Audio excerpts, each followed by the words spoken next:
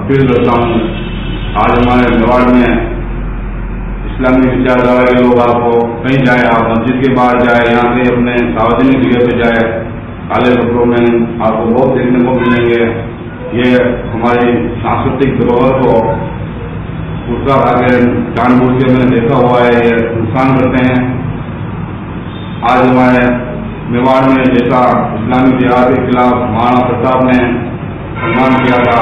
उसी तरह आज हमारे को मेवाड़ को एक होके और हमारे को इस्लामी जिहाद को हमारे मेवाड़ से निकालना है, इसलिए मेरे मेवाड़ के सभी भाई बहनों में किया है, चाहे अच्छा है, गलत है, पर मेरे को जैसा लगा, मैंने किया है और मैं अपने देश के कानून की पूरी इज़्ज़त करता हूँ। पर अगर मेरे को मरना ही था तो क्यों नहीं, मार के मरूं? हर बार हम ही क्यों मरेंगे इनमें? इसलिए मैं आज पच्चीस साल पहले जब इन्होंने हम बाबरी मस्जिद को पूरा किया था, पच्चीस साल बाद में भी हमारे यहाँ कुछ भी नहीं हुआ है।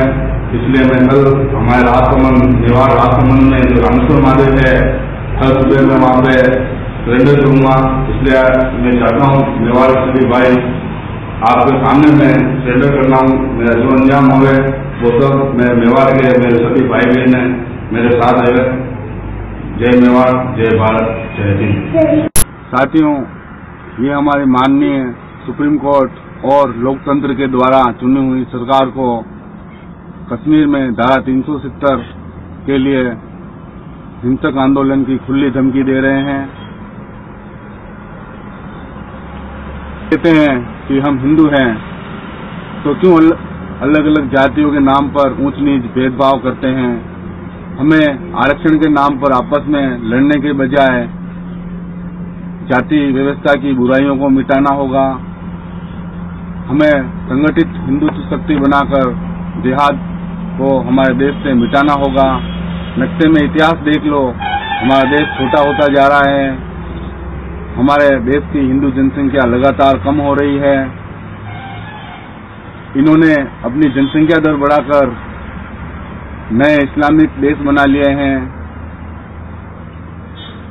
जहाँ पे भी इन्होंने अपनी जनसंख्या बढ़ाई है, वहाँ के हिंदुओं का अंजाम हमारे सामने है। इन्होंने कश्मीर में हमारी बहन बेटियों का बलात्कार कर, वहाँ के हिंदुओं को मारकर उनका सब कुछ छीन लिया। ये हमारे वीर सैनिकों को धोखे से मारकर उनका सिर काटकर अपने साथ पाकिस्तान ले जाते हैं। उन पे पत्थर फेंक कर उनका अपमान करते हैं। हमें संगठित होकर कश्मीर को इस्लामिक राष्ट्र नहीं बनने देना है। हमें वहाँ इनकी, इनसे दुगुनी मात्रा में बसकर इनकी चार बीवियाँ रखकर बहुत सारे बच्चे पैदा करने की, पैदा कर अपनी जनसंख्या दर बढ़ा जनसंख्या इनकी रोकनी होगी?